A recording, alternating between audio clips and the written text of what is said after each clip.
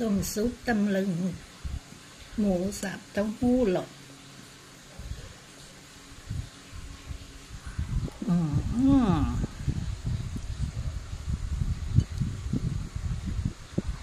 นี่อาหารดีมีประโยชน์ในหน้าร้อน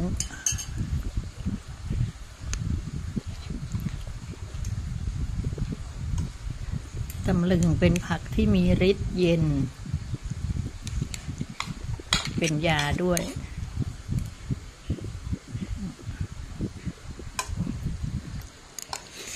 อื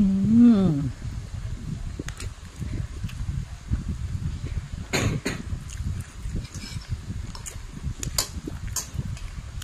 โต